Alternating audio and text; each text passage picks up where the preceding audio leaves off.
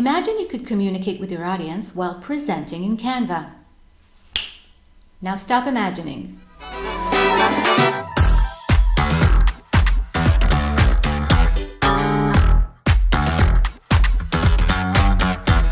Hi, I'm Hadas and welcome to Tip Talk.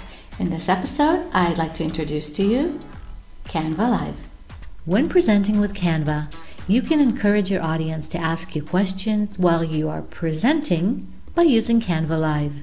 With Canva Live, you can see questions and comments that come in from your audience and answer them and interact.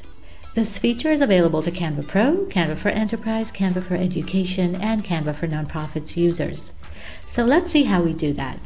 So your first step would be to open your Canva presentation. I have here an 18 page template that I took from the template bank and now let's click on present at the top bar here.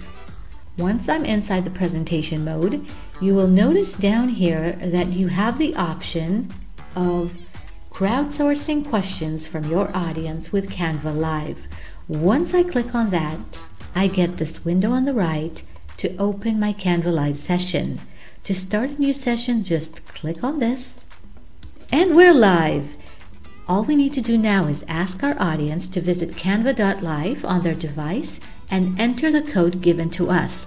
This is a six digit code that is unique to every session. And now let's see this happen in real time.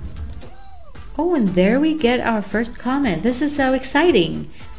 Now everyone in this session can see this comment, unless I wish to hide it. At the top right corner, I have this hide option that once clicked, the comments are hidden. If I want to show them again, I just click on Show and it pops up again.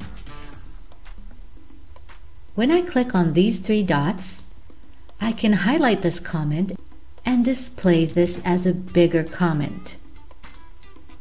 Ooh, this is so exciting! I can also delete the message or just click once again and display it smaller. I can continue moving with my slides and this window on the right will stay there unless I hide it.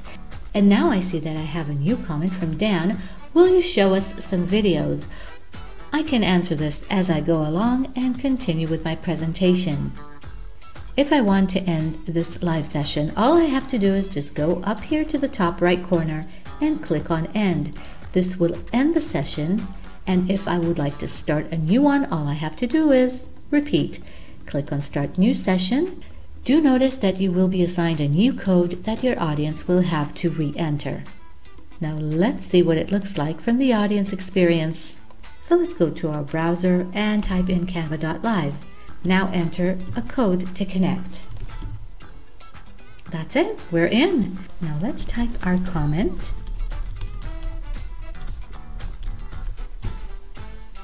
And we can enter our name. This is optional, you don't have to.